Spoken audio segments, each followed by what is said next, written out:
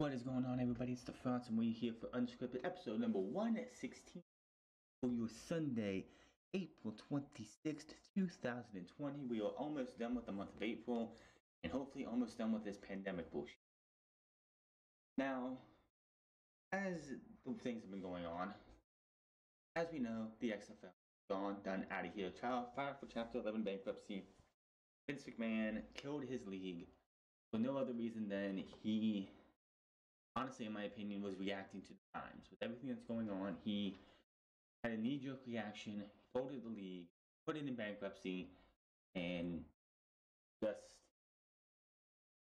all the hopes and dreams of all those guys who played, who did not make it to the NFL, are gone again.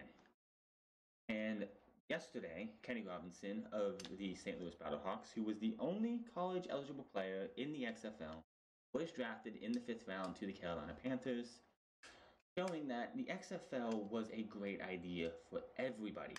Speaking of the XFL, today, tonight, would have been the championship game in Houston, in Houston's home, and TDE, I think it's TDECU Stadium, where the Roughnecks, where the Roughnecks played, would have been your championship game had none of this stuff happened. Kenny Robinson, of course, probably would have been in the St. Louis Battlehawks camp for the playoffs. The St. Louis Battlehawks were making the playoffs, no doubt about it. But things happened, the league folded, all that. Kenny Robinson's off to the NFL. Many other teams, many other players from the XFL made to the NFL. But just like the NBA G League, just like minor league baseball, just like the um, minor league hockey, there are players who are going to be in the XFL for life. If the XFL would have had a full season, made it to a second year, and was oh, continued to go on, money go into it, it starts making money in the second or third year. There's a lot of people who are like, that's it. The XFL was their last stop. They weren't going to get to the NFL. The NFL is for the elite. The XFL is a way for people to get to the elite eventually, but not everyone's going to do that. A minor league system, which the NFL desperately needs, a lot of the guys were not going to get there. Just like the AAF before, just like whatever comes after, because the XFL is not going to be the final football league that we see in the spring. It's just not going to be. You have the Freedom Football League that's supposed, that was supposed to start this year, and I'm sure they scratched those plans.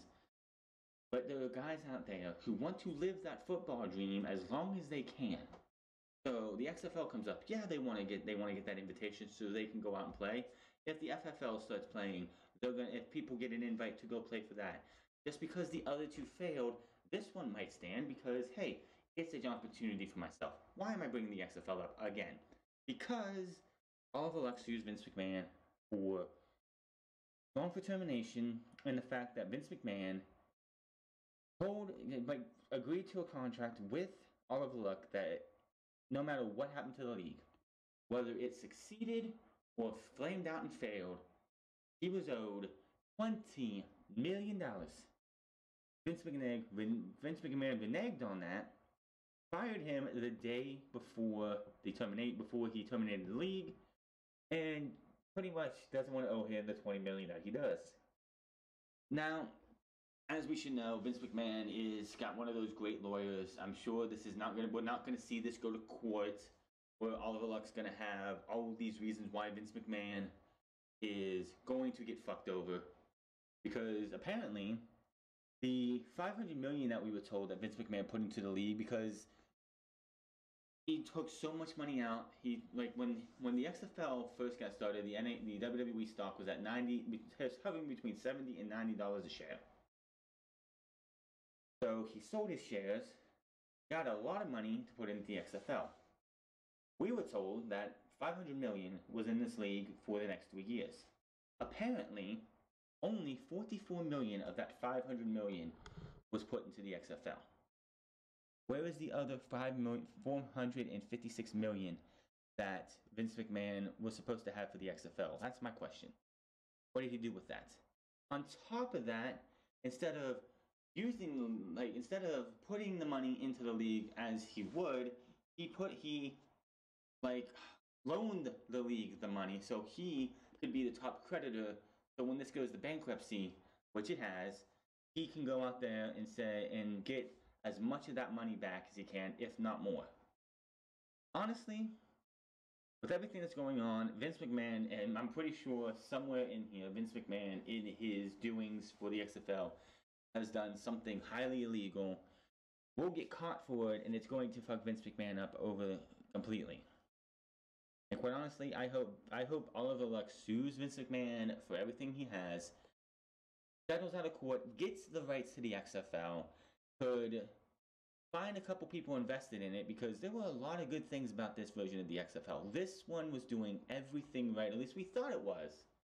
Until you see the in, read in between the lines of what Vince McMahon was doing with the funds for the league, but everyone was getting paid. I do like the fact that they stopped after week five because of everything that happened on the 11th with Rudy Gobert going down with coronavirus and everyone getting shut the entire economy shutting down. They shut down as well. They had no choice.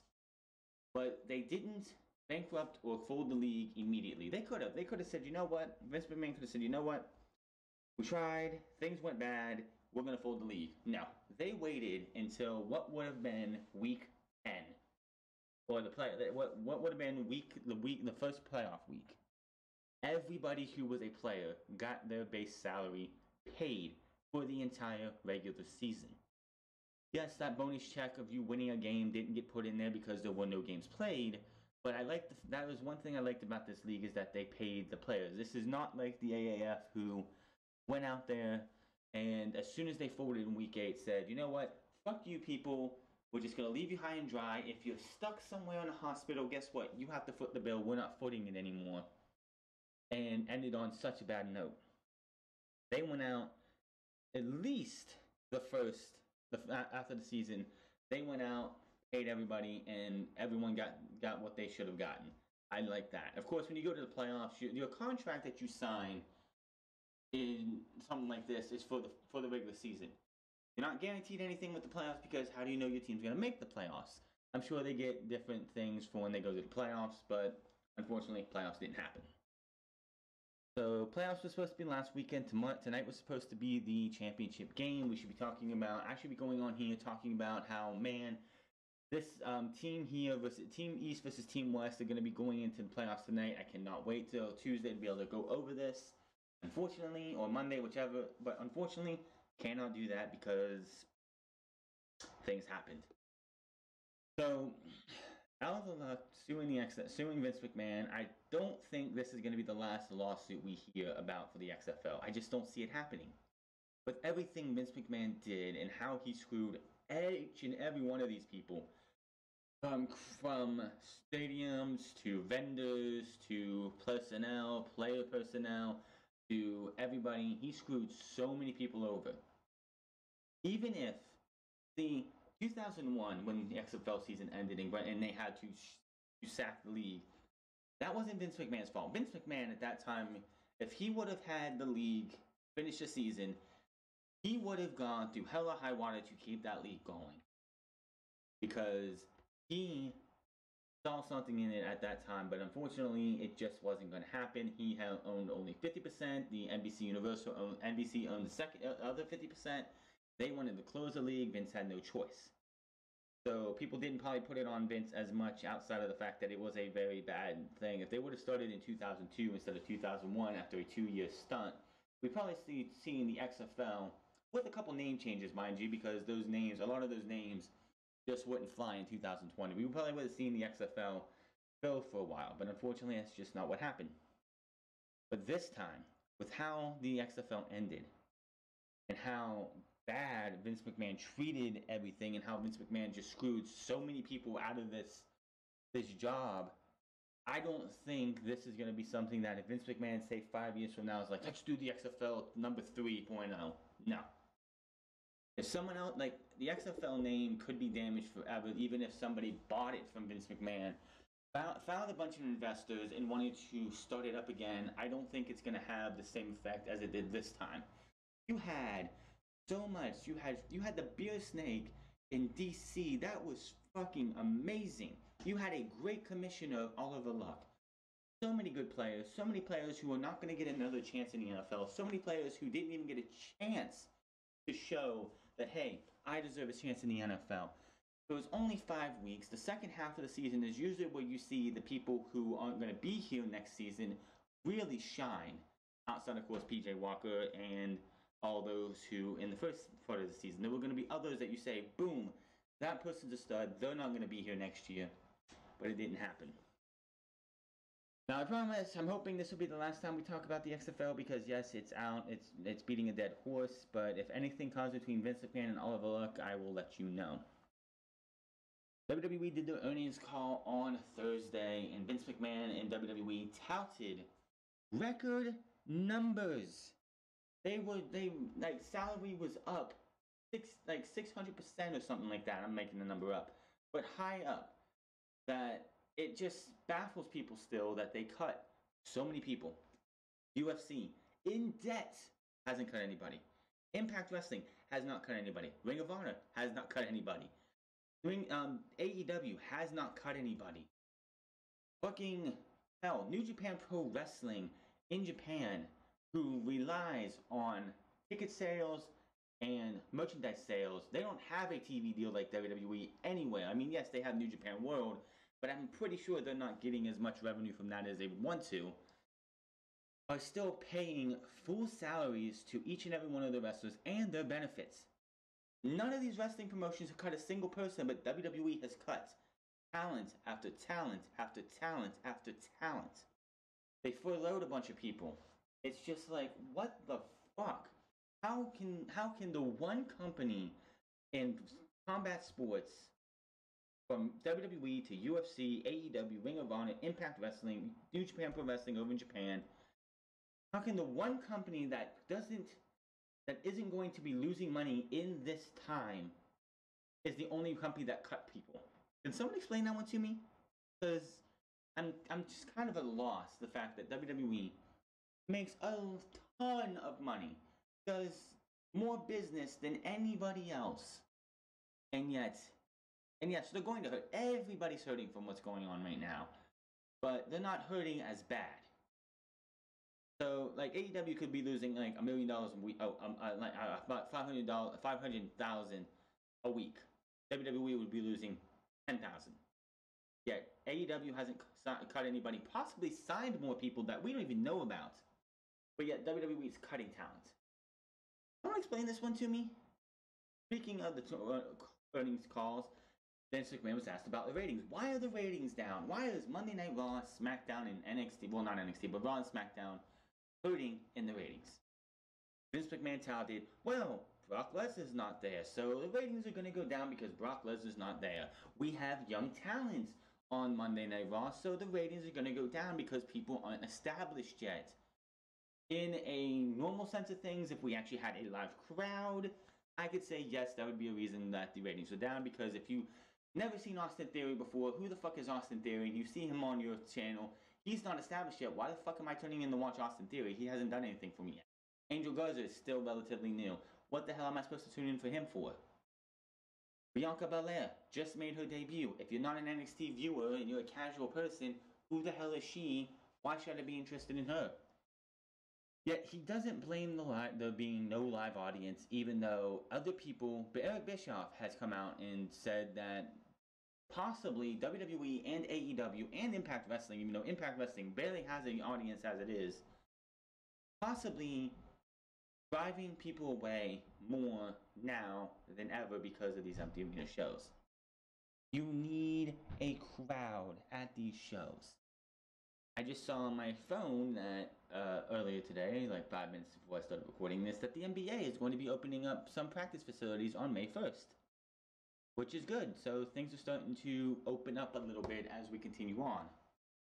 Will that make a difference in WWE sense? No. I'm just hoping when we get to May, which WWE is hopefully is talking about wanting to start touring in June.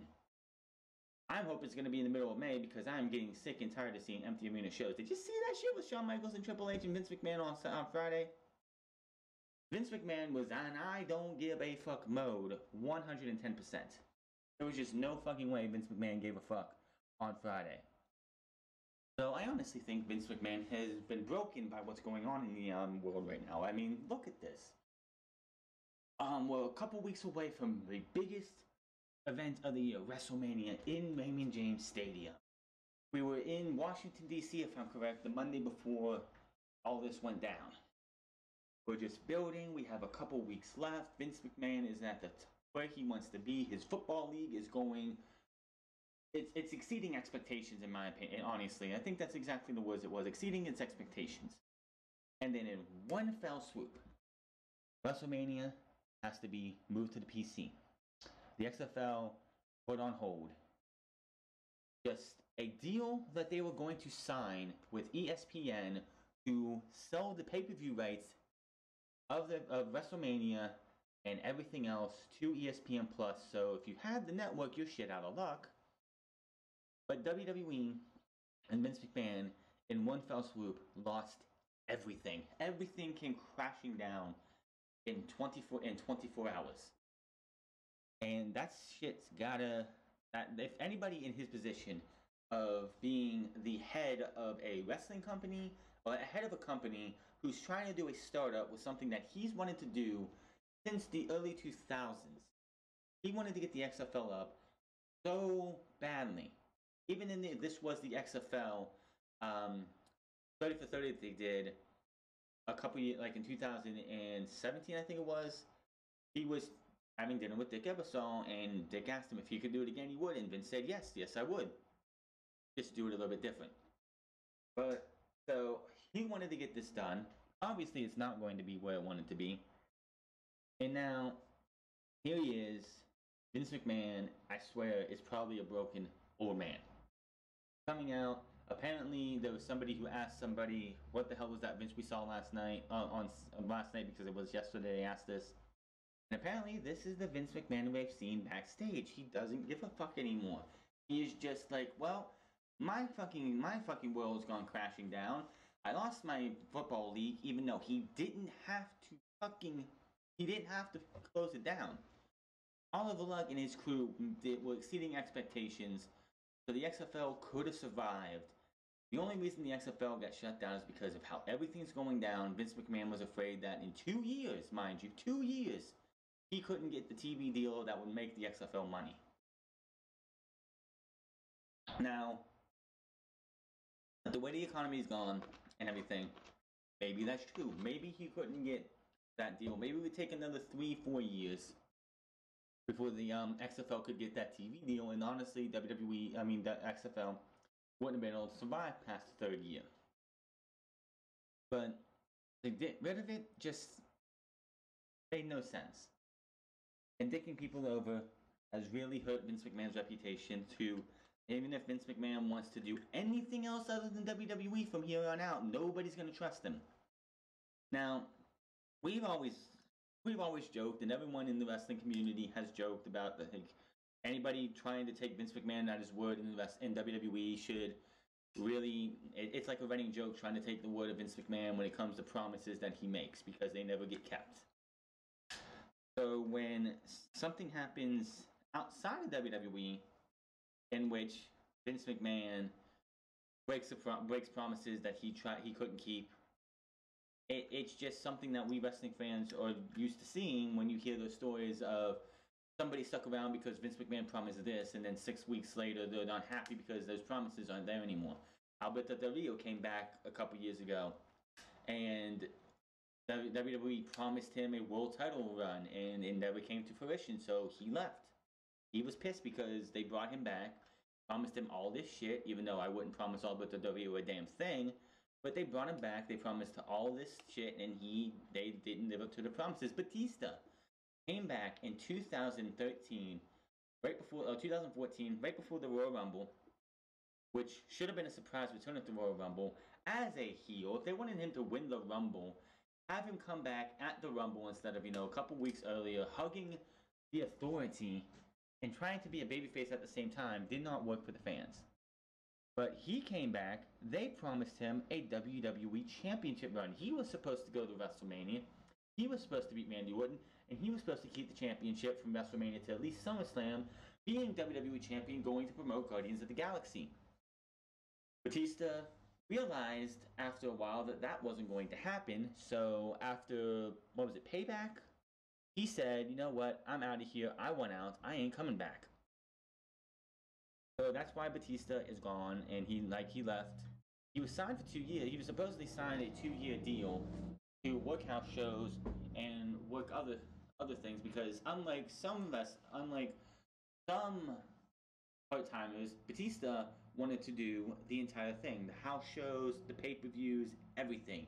If he was going in, he was going to do a Chris Jericho where he's not there just to do Raw or SmackDown, he's there to do the whole nine yards.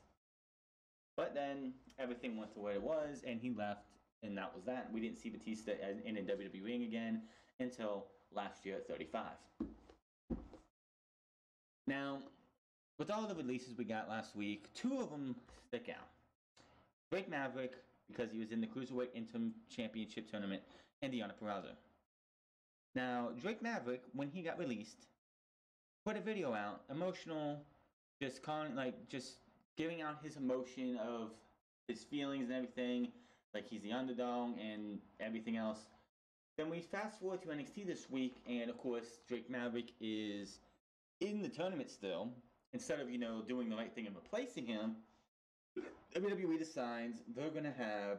By the way, this is a round robin tournament. This isn't a um, a you know single elimination tournament. Which, if they wanted to do this right, they could have had Drake Maverick come in, lose to Jake Atlas, and be done and be out of here. But no, it's a round robin tournament, so he's got at least two more matches.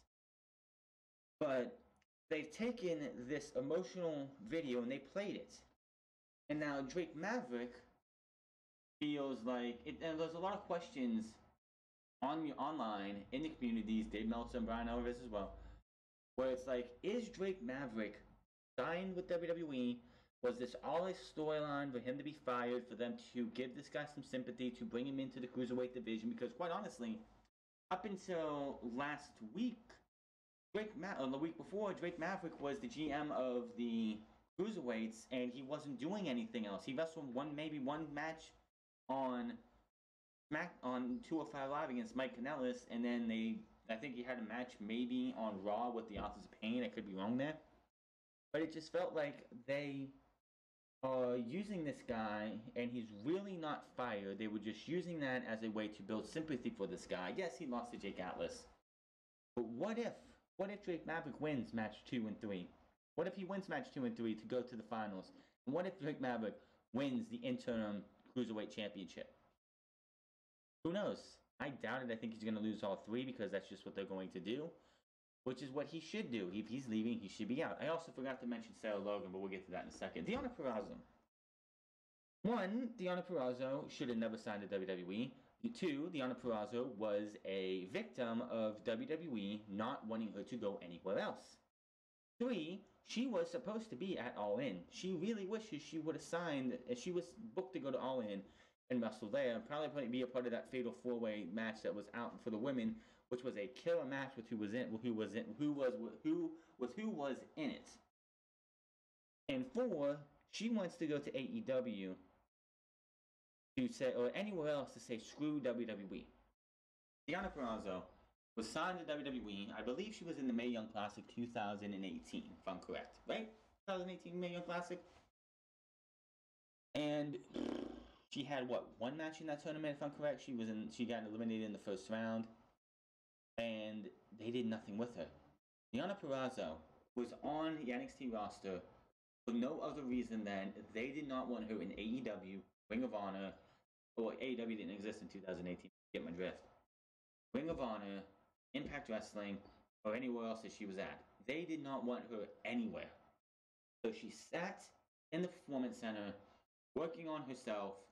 She got used sparingly, getting beat, and then we didn't see her until a couple weeks ago when she, uh, I think it was actually last year in December when she took on Charlotte in a losing effort. Then she came up again. I think she faced, before she faced Nia Jax, which was her last match. She faced, I think, Oscar or somebody else and lost to them, and then came up to face Nia Jax and lost in Nia Jax's return. She was a huge and massive victim of WWE's and Vince McMahon's pettiness. She was signed to not go anywhere else, and it sucks. He now hopefully will go somewhere else. AEW looks like it might be a landing spot, possibly, and they could use a talent like Deonna Purrazzo, who is just somebody who never got a chance to shine. And it just shows every week, every day, that WWE should have never, ever started doing this thing, hoarding of talents. Because when you hoard talents and something shit goes bad like it did with the envi- with the economy, you have to let go of talent. And Deonna Purrazzo, from what I read, wanted her release from WWE because honestly, frustration builds up. Why the fuck would you want to stay at home or in the performance center doing absolutely nothing, not having a chance to advance your career past anything? Because Vince McMahon in WWE doesn't want you to go anywhere. So Deonna Purrazzo, I hope to see you on AEW if she shows up, and because AEW, which is another news story, because if AEW does what they say that what what is apparently being talked about with them, it would not surprise me after her not her 30 day no compete clause to see Deonna Purrazzo on AEW television past the midway through what was it? It was what? It was one second here. It was the 15th is when everyone got released, so I'd say May 20th, if they have a live taping of AEW on May 20th from Daily's Place or wherever they're going to be at, especially if it's in Daily's Place, because I'm sure she's been living in Florida the last few years, I could see Deonna Purrazzo driving her vehicle up to that Daily's Place, talking to Tony Khan, Cody Rhodes, Kenny Omega, Brandi Rhodes, and anybody else she has to, and having a match on AEW television and killing it. Look what Anna Jay did with um with um Shida that was her sixth match, by the way. Sixth match. So it would be interesting to see what happens there. Before we get to the AEW stuff, Sarah Logan. What the fuck is going on with Sarah Logan as well? Sarah Logan was a victim of Black of Black Wednesday.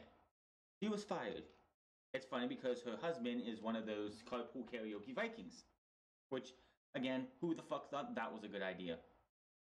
But WWE, in their grand wisdom, almost used Sarah Logan on Monday. Because Vince McMahon and WWE have this thought in their head that just because we fired them, they're still getting paid from us, so we can use them whenever we want for the next 90 days, Monday Raw and SmackDown talent.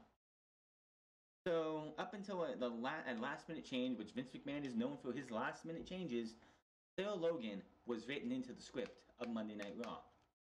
Sarah Logan's name was mentioned more times on this on this show on Monday Night Raw than she has had matches in the last two years. Um, it's just like, what the fuck are they doing? How are you going to have somebody that you just fired? Yes, I know Drake Maverick. You have him in this thing, this championship contenderness, um, contender um, tournament. Which, okay, why did you fire the guy then if you knew he was going to be in the tournament, or why didn't you just replace him? I'm pretty sure Raul Mendoza would have taken that spot if he's not even in the tournament, or somebody else could have taken that spot. Just why you decided to have Drake Maverick in the tournament, then you fired him only to say, well, you know what, we have you in this tournament. We don't have, we really don't want to find anybody else to replace you, so we'll let you finish it out anyway. Leading to a lot of people to speculate that, oh, this guy's still there. Then you take Sarah Logan, and up until the final minutes, right before Raw goes on the air, or probably during Raw, Sarah Logan is in the script. Sarah Logan's going to be there, which Sarah Logan is probably going to be at Monday Night Raw anyway because her husband's there even when all this shit goes is said and done, Sarah Logan probably is going to be backstage at Raw a couple times anyway because her husband works for Monday for WWE and he's on Monday Night Raw. So why wouldn't she be there? It just WWE just makes no sense whatsoever. Sometimes just because it's like just because they're fired from us, we're still paying them for 90 days. So why not use them? Why not use them? I don't think that's how that works, Vince. I'm not a lawyer. I don't know how termination for contracts work with a 90 day no compete clause, but I'm pretty sure just because when they're fired, that means you cannot fucking use them or you're not supposed to fucking use them. Now I'm sure what the Drake Maverick thing is, is that they contacted him, released him, but said, you know what, you're going you're officially released, but we do want you to agree to three more dates with us, and that's the way that goes. Now, next month, which is May, of course, we're coming up with that on Friday. AEW is supposedly scrapping everything that's happening after this coming Wednesday's taping. They're going back to Daily's Place to work live or taping again.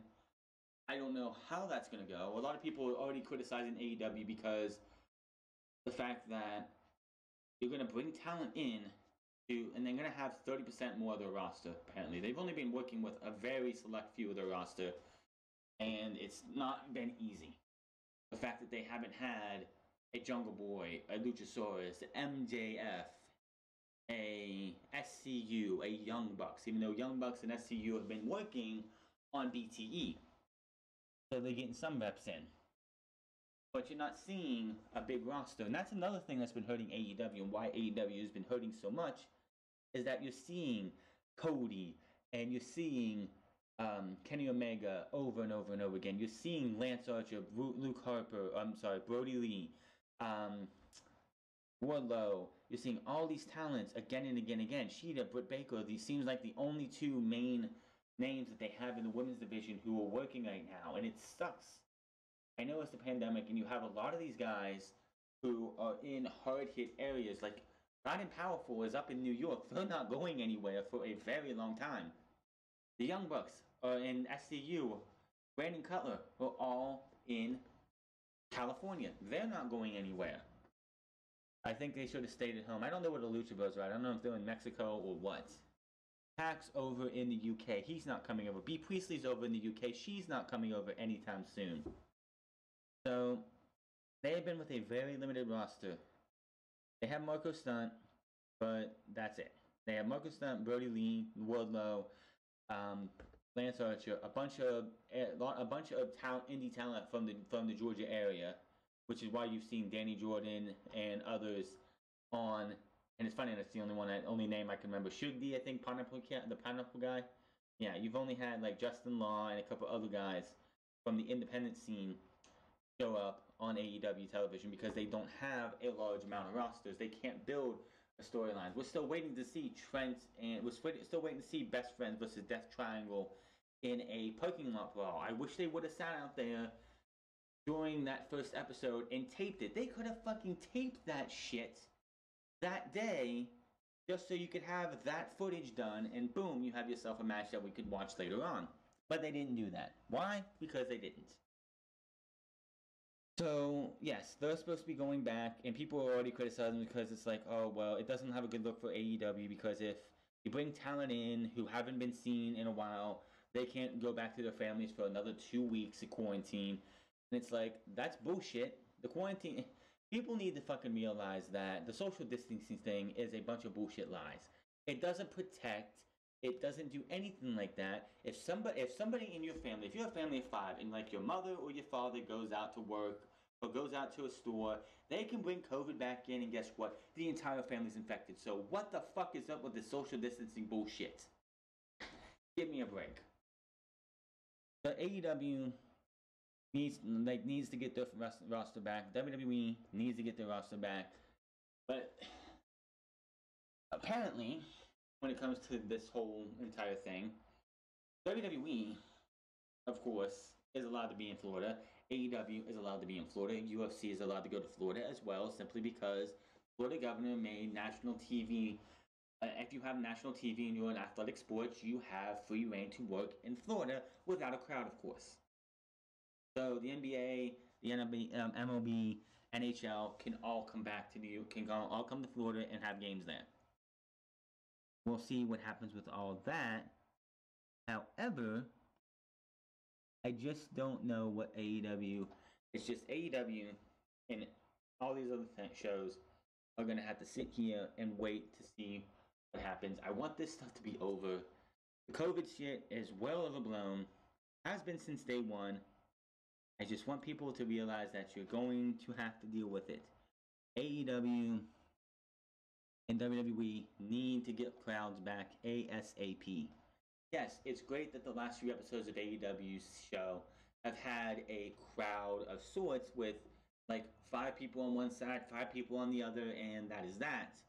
But it's not the same as like 10, 15,000 people in a crowd. It's just not. Yes, it's a major difference than having nobody, even though if you're somebody,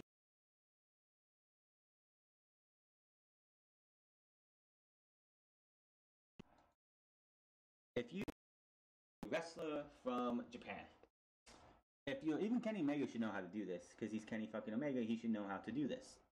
If you are a wrestler from if you wrestled in Japan for years, you should know how to wrestle in an empty crowd, like in a quiet crowd because in Japan until recently, they would only react to big moves. They would sit there and they would like just sit there, hands down, quiet. I remember, what was it, 2006, 2005? WWE had a show from Japan. And this was the first time I've ever watched a wrestling show from Japan. In Japan. And it was something strange. Having it was I remember watching it was Chris Benoit versus Shawn Michaels. And they would do and they were wrestling a match and like when they they were they would do a move and the crowd would cheer. And then they would stand off with each other and it's like the crowd's quiet what the fuck is this? I have never in my life heard this before. And that is what you're experiencing with the WWE. I mean, look at Asuka and Kairi Sane when they were facing off Alexa Bliss and Nikki Cross. They know how to work this because they're from Japan. This is what you do in Japan. They know how to liven it up. Other people do not. So, it is just something that needs to happen. WWE, AEW, Impact, who's been who did Rebellion Part One this week, which I find this funny. Rebellion was supposed to be Impact Wrestling's next pay per view. Was supposed to happen tomorrow, tonight, tonight, I believe. I believe Rebellion was supposed to be tonight. Could be wrong. Could be last week. Because of everything that's going on, they couldn't do a live pay per view in New York completely. Even if even if the restrictions come back and they could have maybe a crowd somewhere in a different state, New York was going to be off limits for a while. So they decided what we're going to do instead is we're going to take from a closed set and we're going to do Rebellion for night one, two nights of Rebellion for the next two weeks. This past Tuesday and this coming Tuesday. And people for whatever fucking reason decided, oh well, this is a Impact Wrestling copying WWE again. Um, first off, no. WWE, if you want to talk about copying anything, copied New Japan Pro Wrestling, who did two nights in a row for New Wrestle Kingdom first. If I'm correct, Impact Wrestling, even with a crowd, about two, three years ago, did a Destination X TV special for two nights. They did Destination X Night 1, Destination X Night 2, or Week 1 and Week 2. I could be wrong, but people sitting there and saying, yes, Impact Wrestling, we have known for years, have copied, even back back in the day, back when Impact Wrestling was the second hardest company in the world outside of WWE. And there, yes, there was a time when Impact Wrestling was a clear cut number two. They weren't making money because of Dixie Carter being an idiot and hiring the wrong people to manage her money, but they were doing, they were a hot product at one time. They always found something to copy WWE. Daniel Bryan becomes the face, uh, becomes the face of yes of the Yes Movement. What did they do in Impact Wrestling? They do Eric Young. They have Eric Young, this goofball character who has this guy who's been 95% of his career a goofball character they have him grow his beard out, and then they have him become World Heavyweight Champion in a match against Nick Aldis, aka Magnus, who at the time was the most paper champion in Impact in wrestling history. Nick Aldis as NWA World Heavyweight Champion, I have no problem with it. He is looking fine as that. When he won the Impact World Heavyweight Championship um, back in 2000, what was it? Uh, 13 or 14? The guy looked like shit. They treated him like shit. Not he he had he won the the way he won the title was shit. The way he lost the title, it's like they had like Nick Aldis beating Eric Young would have been a way to establish him as a dominant heel, beating up on this guy who won a battle royal or won a match to get a title match, and against against Magnus, and it would have been a great way to do that. But no, what did they do? They gave it to Eric Young because they had to copy WWE. Yes, Impact Wrestling wanted to be WWE Light at one time. Even Paul Heyman, Paul Heyman, was contacted by Impact Wrestling during his time away from WWE after ECW went after ECW went um, December to Dismember in 2006. Somewhere in between that time and the time he came back, he was contacted by TNA to come in and work and become the head of everything and take TNA into the future. Paul Heyman wanted to go with the youth. He wanted to be a place where the youth can go and he can mold the youth into the next big stars. But Impact Wrestling wanted to become the WWE Light that they were for many, many years. It is what it is. That's just how things go. So people wanted. I can understand what people when when a when when Impact Wrestling said we're gonna have Rebellion be a two night affair where they say, well, they copied WWE, but nobody wants to mention the fact that in New Japan Pro Wrestling was the first ones to do a two night event, a two night pay per view for their biggest show of the year. Now, Impact Wrestling did not do their biggest show of the year. That's Bound for Glory in October. If they want to do a two night Bound for Glory, it wouldn't surprise me. But yeah, this isn't Impact Wrestling. This wasn't Impact Wrestling copying WWE. I'm pretty sure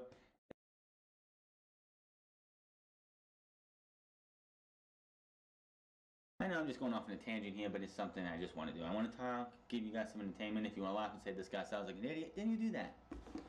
But WWE and and all these other things, crowds make a difference. They really, really do. How many times have we been on Twitter and we've seen people like, man, why is this crowd so dead? Why, like you have you have Rey Mysterio going out there with Andrade, giving you a bun burner of the match, and the crowd is crickets. Why? Why? It, I'd rather have a crowd there than have no crowd at all. Now, it's funny because, as we know, right before WWE decided they were going to go live again, before changing back to saying we're going to go tape to live, live to taped, that they came oh so close to being shut down by the Florida government, by the Florida authorities. Apparently, that was a, an anonymous an anonymous source in WWE, an anonymous um, employee in WWE who called the authorities to get the the the taping shut down because they did not want to work during this pandemic because this person is a sheep who believes the government government. Which, by the way, I saw something on my local news yesterday where they had this little like this bar that goes through, and it said in in the poll there was a poll out there that people actually believe like trust their governors in pan, in this time of a pandemic. I'm like, are you fucking stupid? Anyway, but WWE, as we know, they got their uh, they got the ability to get a free pass. They are essential to Florida, which and here's the thing. The Florida governor says they are essential to the Florida economy. Is anybody in this close set from Florida? Or any of these workers working in this close set, are they from the Florida um, coast or anything? Or are these all WWE paid employees? Because if they're all WWE paid employees, I don't know how this is helping the Florida economy. Now, when they open up, it's like if you take away the crowd, you take away the fans and say no crowd can be there, then how is this helping Florida? Now, when the games open back up, if you want to do a whole social distancing, which is the aka crowd control, you want to do this, you don't have to have a full stadium crowd, a full stadium crowd. Look at your football stadiums. Look at your basketball arenas. Look at where hockey plays too, which is also basketball arenas. Look at golf doesn't need fucking um, fans. I'm telling you that right now. Horse racing apparently still going on, but it's like look at where, like, say the Chicago Bulls play, the United Center. That thing is huge. You could probably have 10 people on the on the camera side, 10 people on the other side, spread out enough to where they could be socially distanced, but you have a fucking crowd.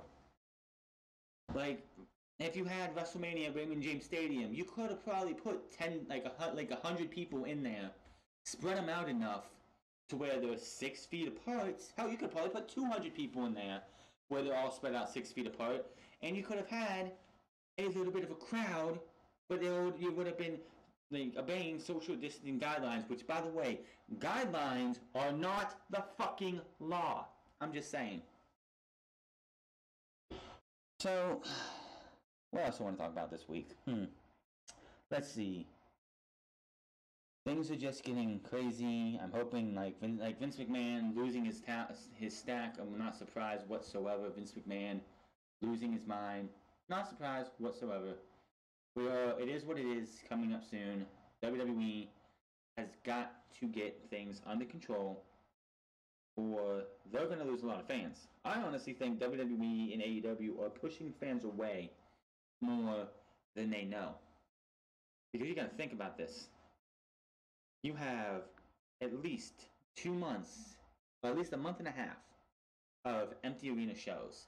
Yes, AEW's tried by having fans, like having wrestlers in this on on the signs, making some noise, but it's never going to substitute a live crowd. Takeovers. I, I like to put this out here. NXT Takeover. Every single NXT Takeover has been sold out, or at least close to sold out, with a massive hot crowd. Now imagine watching NXT Takeover Portland this past February with, oh no no no let me think. NXT Takeover Philadelphia, Johnny Gargano versus Andrade Cien Almas. That match, that crowd, that night, five star match. Now you wipe the crowd away. No crowd noise, no crowd whatsoever. You have that match from spot for spot, start to finish, how it went. It would still be a damn good match, but it wouldn't feel as important. Why? Because the crowd makes part is part of the show. It's fifty percent at least. If you have like if you take Johnny Gargano versus um, Andrade and you put a not not that hot crowd, but you put a dead Monday Night Raw crowd during that show, it would still be a great match. But the show, but the match would still suffer because the crowd had their hands, had their hand, uh, sat on their hands, and didn't do anything for the entire night. So, anyone saying, "Oh, well, they're making it work as best they can," no, they're not. There's nothing you can do to make this work until you get a crowd back into here. These shows are going to suffer, and we as fans are going to suffer because the crowd is not there, and the crowd needs to be there for us to actually it, like the enjoyment of the show. Just like Otis getting that Otis versus Dolph Ziggler at WrestleMania. If you pack a hundred like eighty-six thousand people in the Raymond James Stadium, everybody's behind Otis. Everybody's behind Otis. They want him to get the girl, especially after what happened the, two, the, the night before or two nights before. I don't remember if it was on Friday or uh, Saturday or Sunday. But you saw what happened with the masked the, the the spies who exposed the plot between Sonya Deville and Dolph Ziggler to Mandy Rose and Otis. And Otis beats Dolph Ziggler, gets the girl in his arms, and plants and she plants that kiss on him.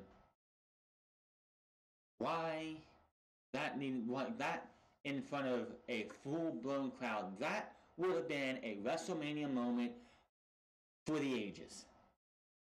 This year's WrestleMania, unfortunately, is going to be one of those WrestleManias that when you see the WrestleMania moments over the years, as we see, this will be a WrestleMania. We don't see that whatsoever. We don't. We just won't. Because you see Hulk Hogan slamming Andre with that crowd going ballistic. You see Austin stunning Michaels as Mike Tyson counts to one, two, three with that massive crowd. You see TLC, uh, um, I'm sorry, the Triangle Ladder match or TLC two, whatever it was, at WrestleMania with a huge crowd. When Edge, I think it was at WrestleMania, when was at WrestleMania where Edge speared Jeff Hardy. That if that was at WrestleMania, then yes, having those crowds, and then you see Otis lock lips with Mandy Rose to a crowd of zero. It just won't feel the same. And then, of course, as we know, SoFi Stadium, which is going to be the home of the Los Angeles Rams and the Los Angeles Chargers, is supposed to be the host of WrestleMania 2037 coming up next year. The California governor, as I mentioned last week, an idiot as he is, is possibly going to disallow large events going into next year, which will be after WrestleMania, because WrestleMania is actually going to be in March next year. So WWE, unlike this year, which had about weeks to plan what the hell they were going to do because they weren't going to have WrestleMania in Raymond James Stadium, what were they going to do? Well, boom, they went to the Performance Center. They're already thinking contingency plans for next year. But WrestleMania has got to have a crowd next year. But what is people? But one thing that people are talking about that WrestleMania did this year, Triple H agrees with, and Triple H would like to see. Triple H was on the After the Bell this past week on Thursday, and talked to Corey Graves and said that WrestleMania from here on out should be two nights. Two nights, which if it's going to be in a Madison Square Garden or a TD Garden or some nice big um, arena, I'm all for it. Two nights, WrestleMania, fine. It's going to be kind of hard to sell two nights in SoFi Stadium or two nights at Raymond James Stadium, which is probably WrestleMania 38 is going to go. People have seen articles coming out that WrestleMania 37 is going to be one night and one night only. If it goes on at SoFi Stadium with a huge crowd of 87,000 whatever, then it's going to be one night. Why? Because when SoFi Stadium got the rights or the got the rights to WrestleMania 37 to go Hollywood, they made they, they got the rights for one night only. WWE already has that contract signed, sealed, delivered to them. So if they want to get a second night at SoFi Stadium, they would have to go back to the drawing board. They have to go back to the negotiation table because they have to rent out SoFi Stadium for a second night. So, and I'm pretty sure that is they're not going to get the well. You bought it, you sold, you rented it out for the for Sunday. We'll give it, we'll give you Saturday for free. That's not going to happen. At the performance center, they can do whatever the hell they want because it's their performance center. But you're going to a, somebody else's arena and paying big money. They're paying big money for you to come here, or you're paying money to go there. They're going to want more money for that second night. So when they go back to Raymond James Stadium, probably at WrestleMania 38, which is probably where they're going to go, which is if that's true, why didn't they just change their WrestleMania 36 logos and everything? You had weeks to do that. You could have changed that all within a week. If you gave a graphics artist, one of those ones who are out there go, doing graphics for content creators all over YouTube, Twitch, and Twitter and whatnot, I guarantee you, if you would have gave them a week, they could have came with a new WrestleMania 36 um, logo and graphics package for the PC Mania that it was. So you could have left all the stuff that you had for WrestleMania 36 and kept it because there's no 30 because after WrestleMania 30, WWE and well, Vince McMahon took the numbers off of WrestleMania. He thinks he think it makes WrestleMania seem old. He doesn't want old old in WWE, which is why he doesn't want to be on television, even though he has the Undertaker, Goldberg, and other and Brock Lesnar and others being on Monday Night Raw and SmackDown. Triple H as well, Shawn Michaels. Which what the fuck was going on with Shawn Michaels' beard on Friday? Because it looked like someone pissed on it and it just stood there. It was so ugly looking. But so it's not like it said WrestleMania 36 in the graphic. So it could have been repurposed for WrestleMania 38 and nobody would have known the difference. So the question is, if they go back to Rest- to Raymond James Stadium for WrestleMania 38, what are they gonna do? They already fucking spent the pirate theme on the PC. What would they do? Who the fuck knows?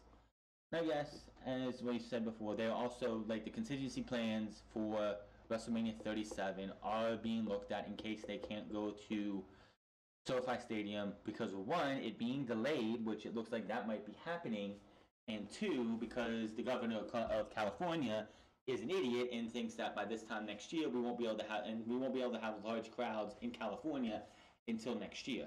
Which again, you're a fucking idiot. So I think that if WWE is going to go with a contingency plan, I think Vegas would be good. If Vegas allows large like crowds and stuff, they got that new stadium where the Raiders play, or where the Raiders are going to play this year. I'm sure Vegas would love to have WrestleMania in that that new venue. I think WrestleMania would look great in that venue. They would have to hold off Hollywood till WrestleMania 39, which wouldn't be a problem. That'd be in 2023. Or 2020, yeah, 2023. Yeah, 2023. Which you would have Vegas, Tampa Bay, Hollywood. Not a problem there. WWE has at least at least this time they have time to work on it in time. But of course, knowing WWE, they'll probably wait till last minute and be like, "Oh well, we can't go to SoFi Stadium, so we have to go back to the Performance Center. But this time we'll have a crowd there." WWE just I I don't know. I just don't fucking know. This this I can't wait till this shit is over. Vince McMahon I think has cracked under the pressure. What we saw on apparently what we saw on Saturday on Friday was Vince McMahon backstage and how he's been lately. Which with everything that's going on, I wouldn't blame him. I wouldn't blame him cracking. I'm I'm not I'm not under any pressure like that because I don't have a multi-billion dollar corporation that I work on, and I didn't just try to start up a, a football league. Which if I had the money, I would buy the XFL from him just to have the property. But I don't. I'm just saying. But unscripted for April 26, 2020 is in the books. Hit that subscribe button, comment down below, like or dislike this video. If you like what I say, if you like what I'm talking about, let me know in the comment section below. I if you don't like what I say, let me know in the comment section below, and we'll see about that later. But I'm getting out of here. Find me on Twitter at the Club. Find me on Twitch.tv slash the Frontz Club. Find me on Instagram at the Frontz Club, and I will see you guys Tuesday. Hopefully Monday, but I don't know. I'm waiting for this goddamn stimulus thing to come through so I can get things figured out. But until then, my name is Frontz, and I'll see you guys later.